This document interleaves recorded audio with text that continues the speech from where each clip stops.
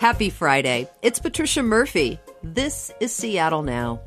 The story had a different ending this week as a jury found former Minneapolis police officer Derek Chauvin guilty. Here in Seattle, the weather is taking a turn and takeout booze is sticking around. Seattle Times food writer Tan Vinh is here along with Phyllis Fletcher to break it all down. But first, let's get you caught up. Fake summer is over. The clouds and rain are coming back, and the spike in COVID cases we've been hoping to avoid is here. This is the beginning of a fourth wave, and we are starting, unfortunately, at a higher level than the other waves have started from. That's bad. Governor Inslee said Thursday that we're seeing increasing cases and hospitalizations thanks to more contagious variants that are now responsible for more than half of the new cases. Inslee says infections among young people are driving this latest surge, and the focus is on getting them vaccinated. Meanwhile, King County public health officials are warning the public to avoid what they're calling unusual COVID testing sites around Seattle. The pop up sites have been seen at Green Lake Park, Gasworks Park, and in Ballard and Capitol Hill. Public Health says the company running them hasn't reported any positive test results after several weeks in business. They've also observed staff without appropriate PPE. If you or someone you know has already been tested at one of these sites, officials say the results might not be accurate and you should probably get retested and a shot at a national championship won't happen for the UW women's volleyball team. They made it all the way to this year's NCAA Final Four, but lost last night to Kentucky. Still, Pac 12 champs this year. First title since 2016. Congratulations, Huskies, on a great season. It's finally Friday. The sunsets have been spectacular this week, and the weather has been perfect for strolling. A lot of people were getting out in their phase three form, and let me tell you, man, businesses were ready. I even noticed my neighborhood walk up booze window has switched from hot cocktails to cold. Phyllis Fletcher is here. She's an author and editor. Phyllis, have you made the seasonal switch from hot beverages to iced? I have, I have, I have absolutely. I, I had a um, iced americano just yesterday, and I enjoyed it very much. Sweet, sweet. And Tan Vinh is here too. He's a food and drink writer for the Seattle Times. Hey, Tan. Hi, Trish. Are you swapping out your hot toddies for margaritas? Oh, I never drink the hot cocktail. Always a cold one, even dead of winter. nice, nice. All right. Well, in more sobering news, it was a historic week in the verdict of the trial for Derek Chauvin. Chauvin was found guilty of all three charges second degree unintentional murder, third degree murder, and second degree manslaughter. It is rare for a police officer to be indicted for killing someone on duty. It's also even more rare that they are convicted. Tan, I was watching this live this week and I was holding my breath. I was holding my breath. It's, it's funny, right? Because the verdict came back so soon, and that's always a clear sign it's a guilty verdict, and yet we still we were still in suspense. And it just shows our distrust of the system. You know, when the verdict was read, I remember just like when I said, "Oh, justice is served" and so forth. But hours later, when I was on Capitol Hill, the police were on one side of Broadway Street patrolling, making sure things were okay, and another side was just Capitol Hill dwellers just yelling at the police, recording their every move because they didn't trust them, wearing masks not because of COVID, but because they didn't want to be identified by police. I mean, it just drove home that the racial tension, the class tension, it's still there. That didn't go away with one verdict, sadly. Phyllis, what do you think? Being in the business that we're in, we're exposed repeatedly to, you know, the kind of by proxy to the trauma of these things. And so I I found myself, you know, having kind of the luxury to not have to watch it up close, so I availed myself of that and I yeah. like, so my way of dealing with it was I reloaded the New York Times live page about it um, so that I could kind of get it in pieces without having to actually watch it unfold. And I'm I'm glad I was able to do that. And I did kind of have that like I remember that kind of tension in my chest. And then you know, being able to take that breath kind of like I did just now, but then just feeling kind of numb and kind of trying to play out in my mind like, okay, what does happen next then? And then like, well, I guess the next time someone is is filming an officer doing something like this, their life is probably in jeopardy. Numbness feels like the the best way I can describe my response to it. Yeah. Phyllis, like when I saw this tension on Capitol Hill last night, just between the police and the protests and so forth, I was so happy when the light turned green. I just drove past it because I wanted to be naive. I wanted to know that hey, that verdict meant something, and all the racial tension went away, and the police tension went away, even though it didn't. I just didn't want to think about that. You know, the verdict does mean something, but what it means and where do we go from here really remains to be seen. All right. Seattle is still in phase three for now, you guys. The mask mandate in effect. And I personally have been very good about this. I just wear my mask.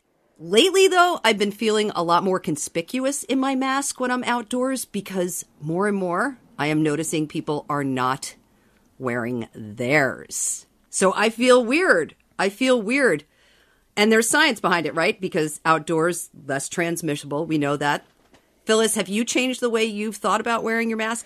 Nope, I still wear. You know me. We sat together for a long time. I'm a huge square. I will be wearing that mask. And um, I have seen, you know, like some rollout of different thoughts around, you know, where and under what circumstances that they would be recommended. And I know yeah. I'm going to be one of those holdouts who's wearing it all, all the way past uh, until I get like a very, very clear green light. You know, I think that that's, I'm just more comfortable that way. And I do like to really base what I'm doing on you know public health recommendations you know. So it's like there's opinion pieces out there about like we need to see the end of this pandemic. We need to have it in our sights somehow. We need the light at the end of the tunnel. We need to start getting these recommendations about unmasking now. And it just kind of reminds me of like kids who are in the back seat of the car going are we there yet and the answer is no, we are not there yet. No, we're not. Yeah. And so I appreciated um, the article in the New York Times uh, that came out where they had like a very simple graphic that showed like. Is that the two out of three rule? Two out of three. Yeah. I was like, okay, I can wrap my head around this and I feel more confident about it because it is coming from epidemiology. Like I appreciate that and, you know, infectious disease epidemiology specifically. So I'll be looking for more signals like that to know when when it's okay to take it off. Yeah. All right. So the two out of three rule is you have to have two of these three things to take off your mask and be safe. Outdoors plus socially distance, no mask needed, right? Outdoors, no distance, mask needed. Indoors, always need your mask. That's the quick and dirty breakdown on that one. Tan, what about you? You know, it's it's these things just come in wave because you're talking about the New York Times story this week. That's like one of five major stories on this topic. The tone through all of this is like, hey, America, it might be safe to not wear a mask in public. That's the um, implied conclusion here. Right. And I encourage readers and listeners to read all these news stories because there's one point in this that people aren't getting, and that is what they're saying is there have been COVID cases outdoors. And yeah. what those cases are is face to face conversation and prolonged conversation.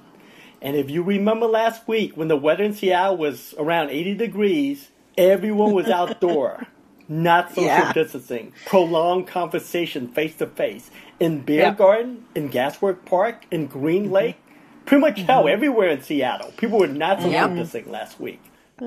In other news this week, the Washington state legislature has legalized to go cocktails through 2023. Inslee signed this on Wednesday. To go alcoholic beverages were legalized last May, trying to help struggling businesses get through the pandemic. And I think the booze window in my neighborhood does okay. I have seen some lines. Tan, you report on restaurants and bars. What kind of difference does this make for, for businesses? Is this a big deal? Yeah, it's the surprise is the big winner in all of this, and we should back up. Uh, and the reason why the state allow for cocktails to go is because restaurants can do food to go during the pandemic, but bars can't do cocktails to go.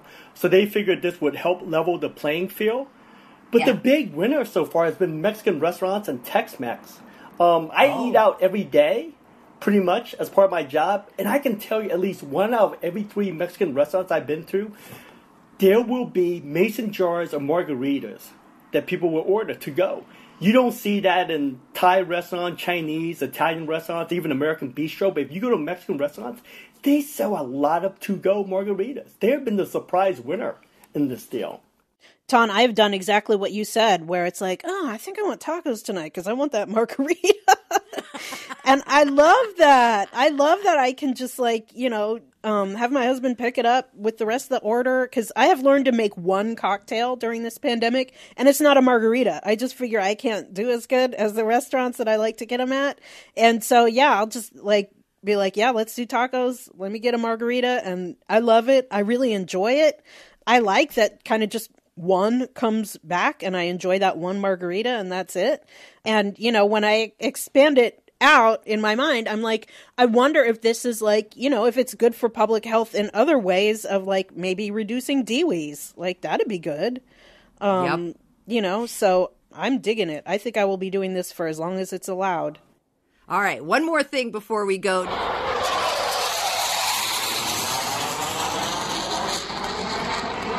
No need to get a plan in place for your pets for the annual Blue Angels flyover because those supersonic jets won't be doing it again this year. That sound, love it or hate it, will not be part of Seafair for the second year. The Blue Angels are virtual. Phil, this is the kind of thing that people have feelings over. they definitely do. Um, you know, it's it's one of those like kind of um, people love them, love to hate them or just straight up hate it. you know, and I'm one of those people like uh, you know, except for college, I lived in Seattle my whole life. I did have one really cool opportunity one time to go up on a roof downtown and and um you know so then when they flew over it was really close um and that was just like interesting and cool i i don't think i'll be partaking in the virtual I just don't see seems... the virtual. They yeah, have the fireworks like too. They're virtual. Like, oh uh, yeah, yeah. I'm like, I'm good. Like, I I would rather just do something else. So, um, you know, and so even though I'm I'm not a big like Seafair participant, um, you know, I have a lot of the like Seafair nostalgia of like I marched in the parades as a kid you know so like for especially for the kids where marching band is a big deal i kind of hope yeah. that comes back um all city. Um, yeah. you yeah, know the, the, the kids with parade, the yeah and the, the green polo shirts and the white dickies like man i hope they get to do their thing again but if we gotta wait another year i'm good i just want it to be safe. You know seafair is like a celebration of summer. That's what it is and it has to be live. It only works when it's live I mean, yeah. Trish, there are things in this world that are better off live and in person. Travel, Sounders game, and I would say Seafair. Those okay. are things that need to be live and in person. Seafair will be back next year, I'm sure. Seafair will be back next year, and that's where we're going to leave it. That's our show for this week. Thanks again to my guests, Tan Vinh. He's a food and drink writer for the Seattle Times, and Phyllis Fletcher. She's an author and editor here in Seattle. Thanks, you two. Oh, thanks for having us. Thanks, Trish. Seattle Now is produced by Caroline Chamberlain Gomez, Clare McGrane, and Jason Pagano. Matt Jorgensen does our music. I'm Patricia Murphy. See you Monday.